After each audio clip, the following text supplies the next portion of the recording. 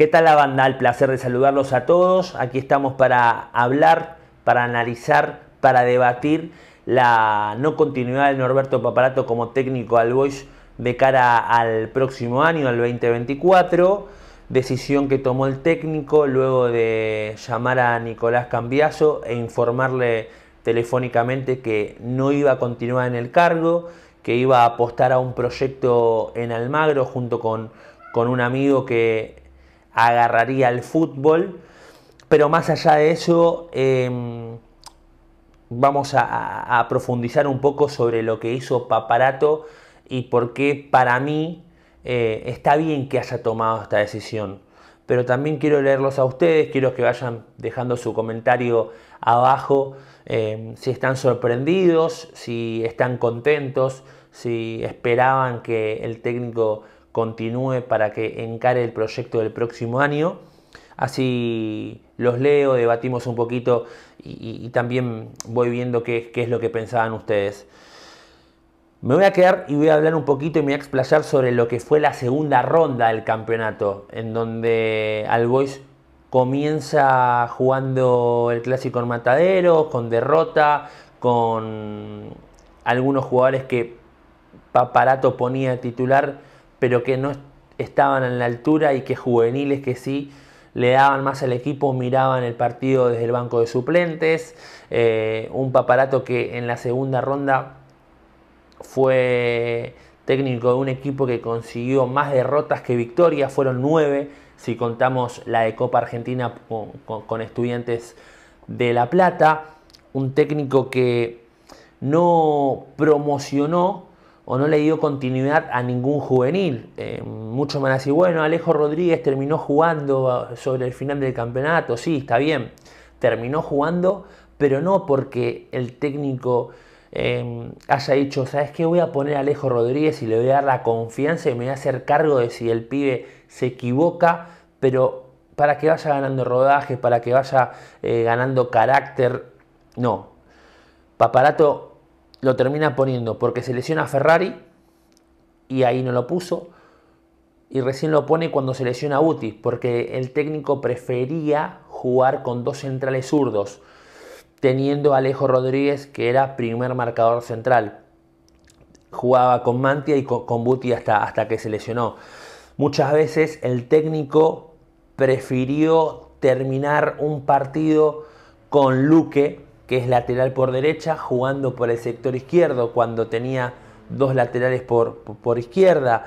Em, las propuestas de Paparato como técnico y lo que se veía de su equipo eran sinceramente paupérrimas, eh, malas, todavía no sé qué es y a qué quería jugar eh, el Albois de, de Paparato se termina, entre comillas, ¿no? salvando Paparato porque llega Tomasetti y llega Tolosa, que Tolosa todo lo que tocaba lo mandaba al fondo de la red.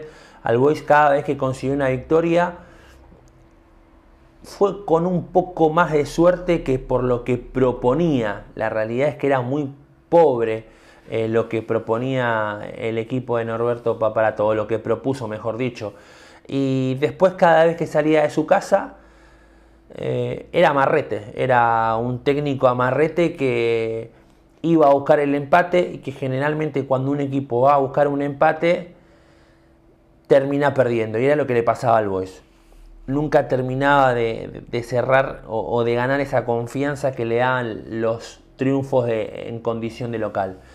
Creo que Paparato nunca estuvo a la altura de lo que es Albois como institución, de lo que es Albois en esta categoría y, le quedó grande el puesto de técnico a Paparato.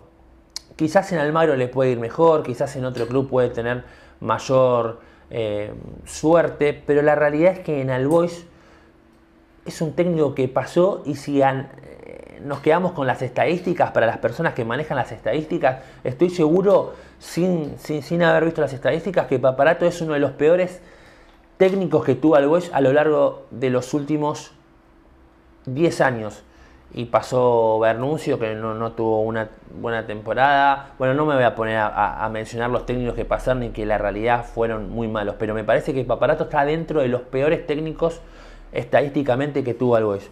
Ni hablar en cuanto a lo futbolístico, ni, ni hablar en cuanto a propuesta. Eh, agarró un equipo que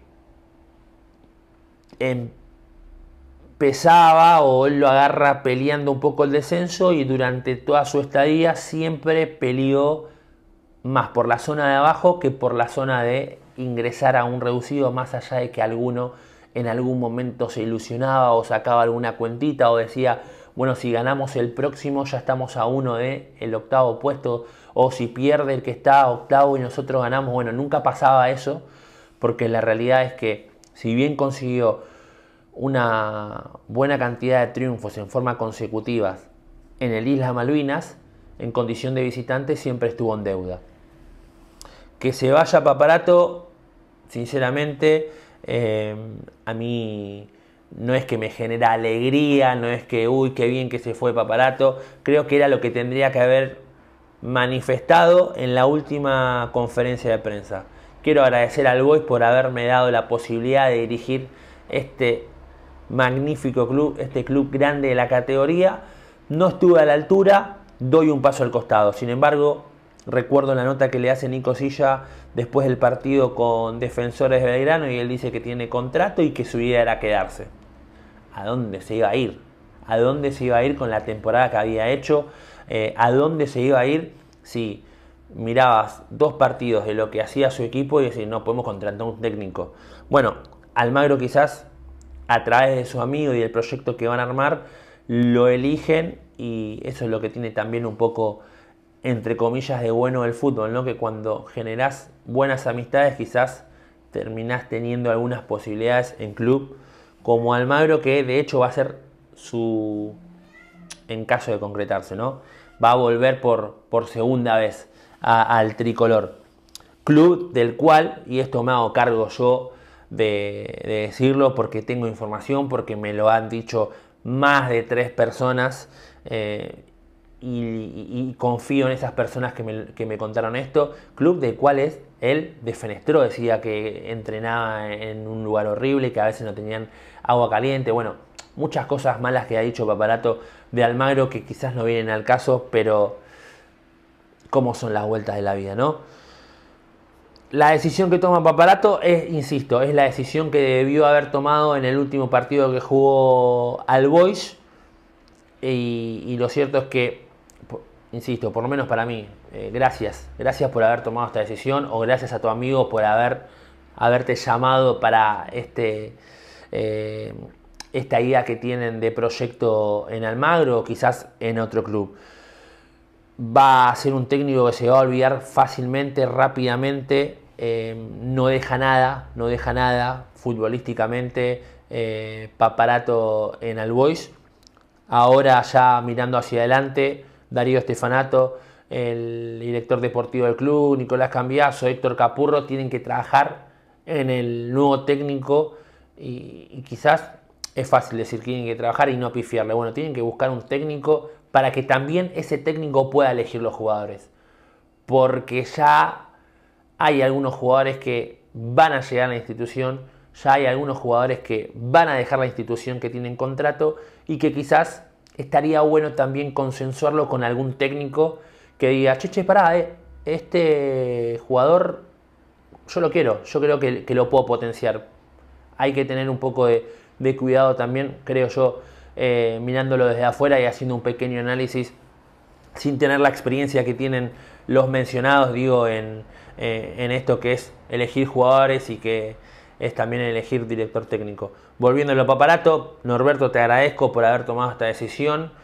Muchas gracias por nada, muchas gracias por, por, por, por, por haber tomado esta decisión. Nada más, sinceramente, gracias vas a ser un técnico que quedará para el olvido y ojalá que algo en el 2024 eh, sea solo eh, triunfos, buen fútbol, que sea proyecciones de juveniles, que sea un técnico que haga jugar a la pelota como al hincha al Boys le gusta. Gente, quiero leer sus comentarios, quiero que me digan si están a favor de la decisión que tomó, iba a decir contentos pero, pero quedaba mal, a favor de la decisión que tomó Norberto Paparato o si ustedes hubiesen tratado de convencer o si les hubiese gustado que Norberto Paparato sea el técnico del próximo año.